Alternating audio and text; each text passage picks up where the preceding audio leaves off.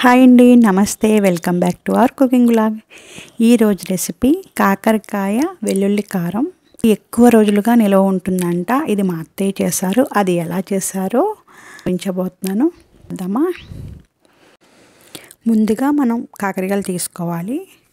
మేమైతే పాది కాసిన కాకరకాయలు కోసుకున్నాము. వాటిని పై పైన చెక్కారు. అందరూ గింజలు కూడా తీయకుండానే ముక్కల కింద కట్ చేసేసుకుని అందులో సాల్ట్ వేసుకుని మొత్తం కలిసే విధంగా కలిపేసుకోవాలి. ఈ విధంగా కలిపేసుకుని ఫైవ్ మినిట్స్ ఉంచుకున్నారు. బాండీ తీసుకుని అందులో ఆయిల్ వేసి పప్పు మినప్పప్పు జీలకర్ర ఆవాలు అవి వేసేసుకున్నారు. అవి కొంచెం వేగక మనం ఆల్రెడీ రెడీ చేసుకున్న ముక్కలు ఉన్నాయి కదా పిండేసుకుని వాటర్ లేకుండా ఇందులో వేసేసుకుని బాగా వేయించేసుకోవాలి. ఇలా వేగిపోయాక ఇలా పసుపు అలాగే సాల్ట్. ఆల్రెడీ ఇందాక సాల్ట్ వేసి కలిపాం కదా కాబట్టి ఇప్పుడు చూసుకొని క్వాంటిటీని బట్టి వేసుకోవాలి.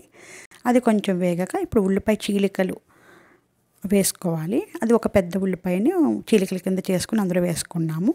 అది వేగుతూ ఉంటుంది. ఈ లోపల మనం పౌడర్ కోసం వేయించిన శనగపప్పు కారం త్రీ స్పూన్స్ వేసుకున్నాం. కొబ్బరి చిన్న ముక్క అనమాట అలాగే వెల్లుల్లి ఎక్కువగా వేసుకున్నాము. ఇవి మొత్తం అన్నీ కలిపేసి పౌడర్లా చేసేసుకోవాలి.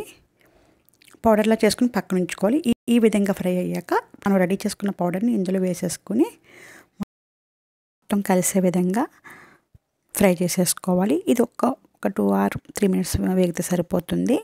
ఇలా వేగిన మిశ్రమాన్ని ఇలా స్టోరేజ్ బౌల్లో వేసేసుకుని మనం సర్వ్ చేసుకోవచ్చు. మన ఊరు వెళ్తున్నా ఎన్ని రోజులైనా నిల్వ ఉంటుంది. ఎక్కువ రోజుల పాటు నిల్వ ఉంటుంది. అలానే చేదు తినని వాళ్ళు కూడా చాలా ఇష్టంగా తినేస్తారు. సో నాకైతే ఇది నచ్చింది. మీకు నచ్చితే మీరు ఈ విధంగా ట్రై చేయండి. Thank you for watching